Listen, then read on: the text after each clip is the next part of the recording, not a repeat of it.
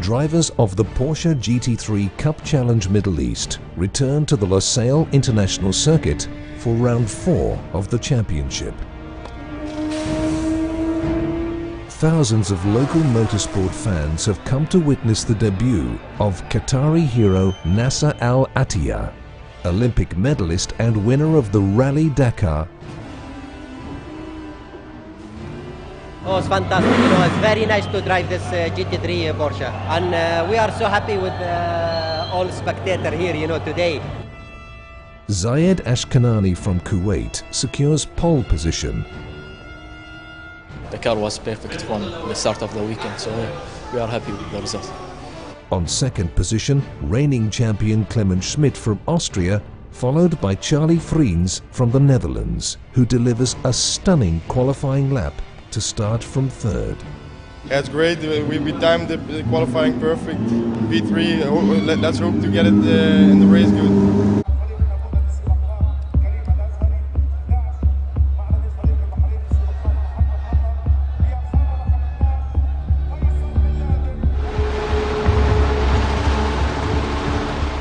A jump start by Zaid Ashkanani forces race control to investigate the incident.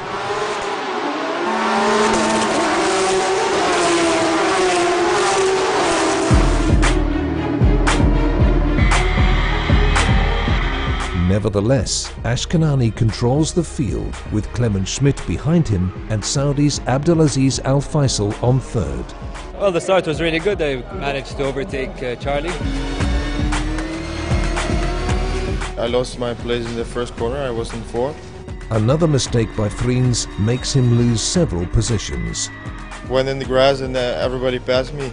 Lifting up the Skydive Dubai Falcons cars into fourth and fifth position.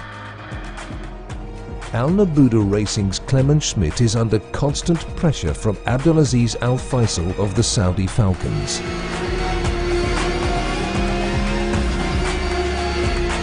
And fights hard to keep the second position. In the second lap, Abdulaziz tried to pass me and we touched with the cars.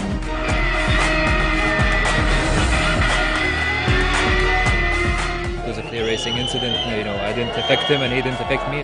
Meanwhile, Fahad Algosaibi from Saudi manages to overtake UAE's Syed Al Mahiri, claiming fifth position. I was uh, fighting with the uh, Sky Dubai team and uh, it was really, really a lot of fun. We had a lot of action.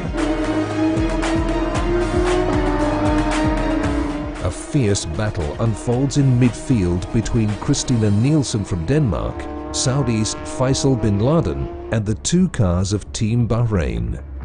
As bin Laden tries to overtake Christina, the cars touch and Christina ends up in the gravel, unable to continue the race. It is what happens when, when you're racing on the limit, which we all are.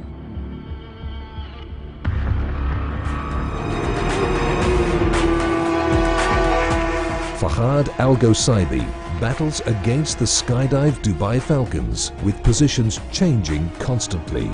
Towards the end, you know, I was just pressuring, pressuring, pressuring. Finally, you know, I got the chance to, to go into fourth place.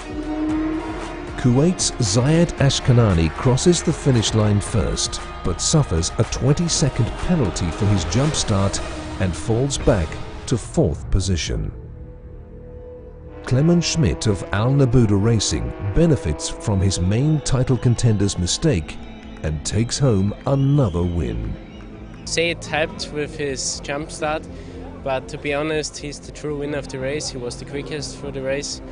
Abdulaziz Al Faisal of the Saudi Falcons takes second place after a strong performance. Second's my first uh, this year, so uh, uh, there's only one more podium step to get, and hopefully we can do that. On third position, Fahad Algosaibi from Saudi. Yeah, very happy with my performance.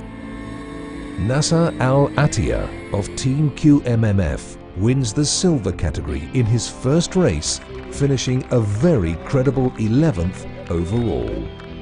It was really uh, completely different from rally, you know, but really I enjoy a lot and uh, I'm quite happy to finish uh, the first race in, uh, in my life in the circuit.